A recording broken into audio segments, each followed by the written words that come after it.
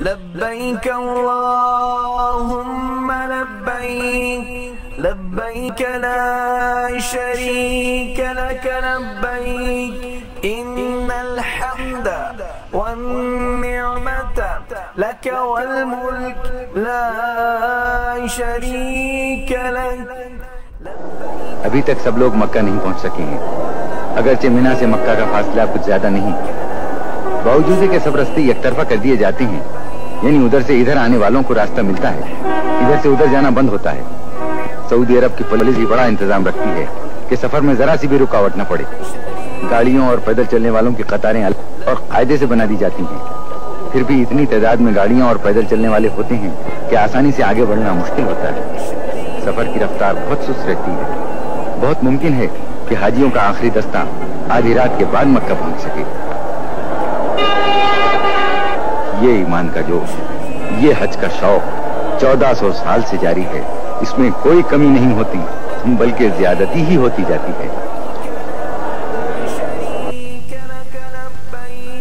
یہ پہاڑیاں جو مکے کے مقدس شہر سے صرف نو کلومیٹر کے فاصلے پر ہیں، دین اسلام کی ابتدا کی خاموش گواہ ہیں۔ اسلام کی حیرت ناک ترقی، حق کی ایک آواز اور اس کا ساری دنیا میں اتنی جلدی پھیل جانا۔ یہ پہاڑیاں ان سب تاریخی حقیقتوں کی چشمدید گواہ ہیں۔ پکارا جس نے بس تجھ کو پکارا کئی داورا پرور دگارا یہ غار ہرا ہے۔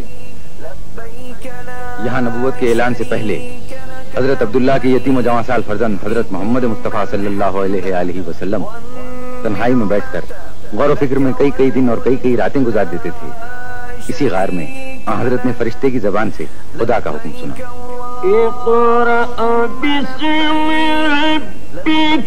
پڑھو اپنے پالنے والے کے نام سے جو سب سے عظیم ہے جس نے سب کچھ پیدا کیا۔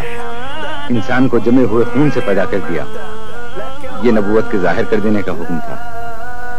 آج چودہ سو سال کے بعد بھی جب حاجی حج کا فریضہ ادا کرنے مکہ آتے ہیں، تو اس غار کی زیارت کو بھی آتے ہیں، جس کے دل میں پیغمبر اسلام کے قدموں کے نشان چھپے ہوئے ہیں اور جس کے ذروں میں اس جسم پاک کی خوشبو بسی ہوئی ہے۔ لك والملك لا شريك لك. لبيك اللهم لبيك لبيك لا شريك لك لبيك إن الحمد والنعمة لك والملك لا شريك لك